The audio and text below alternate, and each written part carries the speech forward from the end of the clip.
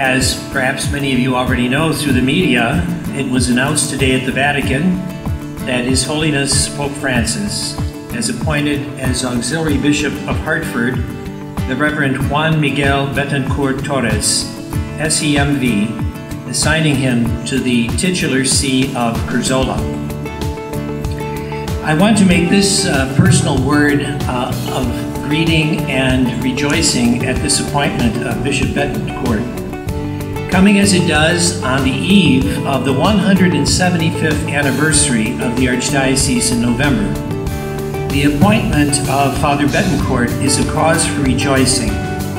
not only for me personally,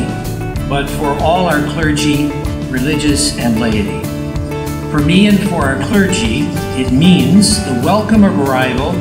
of a dedicated co worker in the Lord's vineyard who brings a variety of talents and experiences to our shared ministry.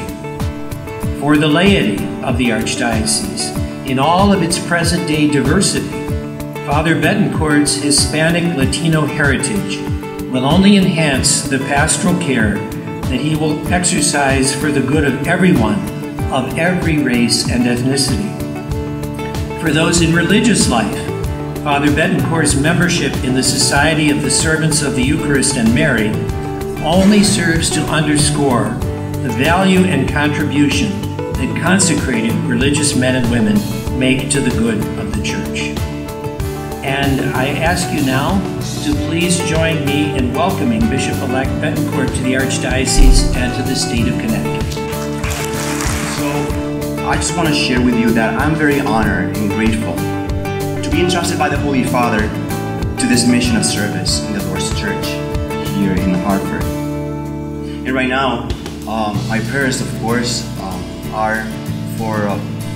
my parish community, my religious community, and um, the seminary community back in St. Paul. But of course, now, um, my prayers for all of you, my new family in the Archdiocese of Hartford, which I am looking forward to, um, to get to know and to serve as I was reflecting on, on the call to service in the church, this call to ministry, I am aware that comes with a great responsibility. And we're called to stand at the heart of the church with a testimony of faith and love and fidelity, and service. Like I said, I'm looking forward to meeting you all, to get to know you, and to serve you to the best of my ability Lord's help and the intercession and protection of the Blessed